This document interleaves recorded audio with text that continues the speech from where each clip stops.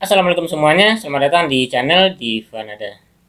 Di video kali ini saya akan mereview dua parfum pria dengan aroma yang mewah, wanginya ini segar, menyenangkan, serta tahan lama. Untuk daya sebar dari kedua parfum ini juga sangat bagus. Jadi wangi dari kedua parfum ini untuk daya sebarnya ini bisa tercium dari jarak yang lumayan jauh. Nah ada sebagian dari teman-teman kita yang mengatakan kedua parfum ini aromanya sama. Nah untuk parfumnya yang pertama yaitu ada Epic Lucky. Epic Lucky ini memiliki aroma yang searah dengan One Million Lucky atau aromanya ini inspired dengan One Million Lucky. Kemudian untuk parfum yang kedua yaitu The Blue Channel. The Blue Channel ini memiliki aroma yang searah dengan Blue The Channel.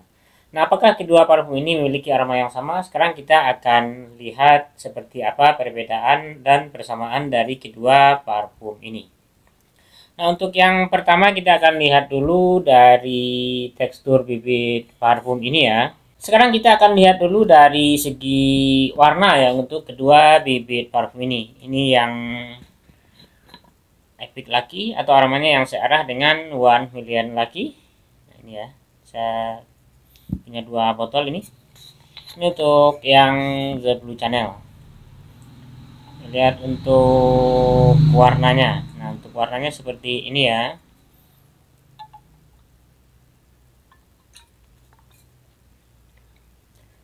Nah untuk warnanya ini untuk yang searah dengan one million lagi ini warnanya lebih gelap ya. Jadi untuk warnanya ini lebih gelap. Kemudian ini untuk teksturnya teksturnya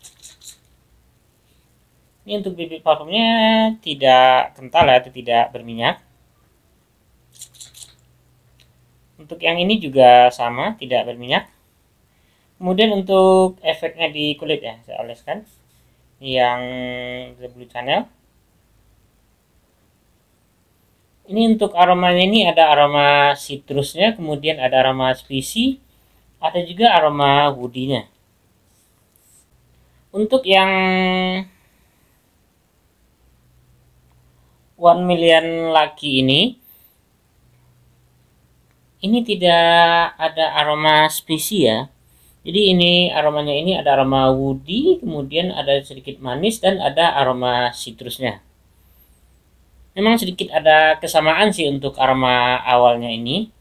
Untuk yang milian laki ini di awal ini ada aroma jeruk bali kemudian berbaur dengan aroma bergamot. Kemudian untuk yang Blue Channel ini juga ada aroma jeruk balinya, kemudian ada aroma mint dan ada aroma spesinya.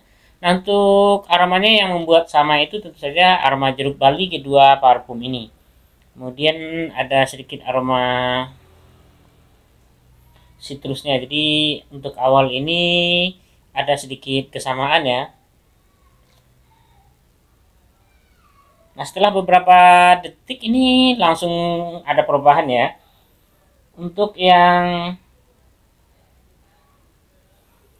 kemudian lagi ini aroma manisnya langsung keluar ya jadi ada aroma seperti madu kemudian ada aroma jasmine dan ada aroma hazelnut Sedangkan untuk yang The Blue Channel ini setelah beberapa saat ini yang muncul yaitu aroma rempah.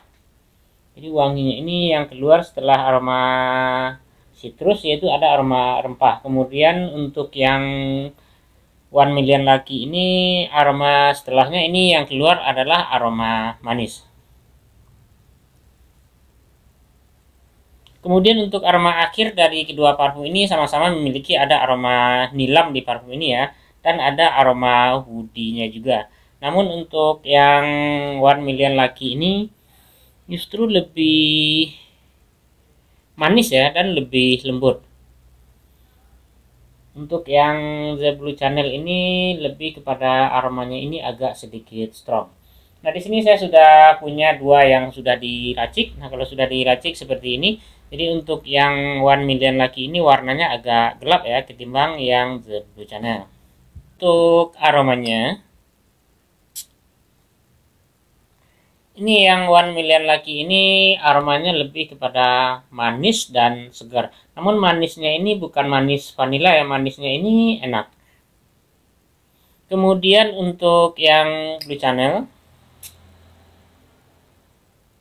Ini yang lebih dominan yaitu ada aroma citrus kemudian berbaur dengan aroma spicy dan ada sedikit tercium aroma woody-nya juga kemudian ini setelah kering ini nanti akan tercium aroma rempah sedangkan untuk yang one million lagi ini akan keluar nanti aroma madu kemudian berbaur dengan aroma jasmine Nah untuk daya tahan dari kedua parfum ini kurang lebih sama. Untuk di pakaian kedua parfum ini bisa bertahan hingga seharian full.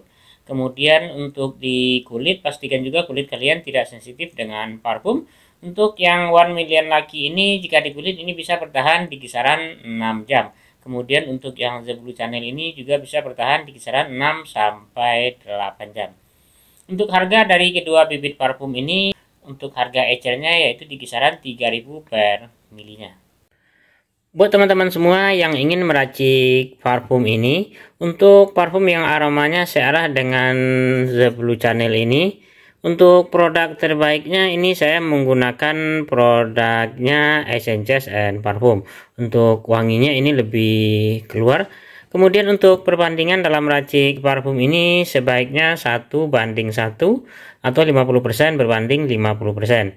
Nah, jika dirasa terlalu berminyak nanti teman-teman bisa menggunakan perbandingan 40% berbanding 60%. Jadi bibitnya ini lebih sedikit daripada pelarutnya kemudian untuk yang epic lagi ini ini produk terbaiknya ini saya menggunakan produknya Mane. Kemudian ini saya mixing sedikit dengan produknya Nika.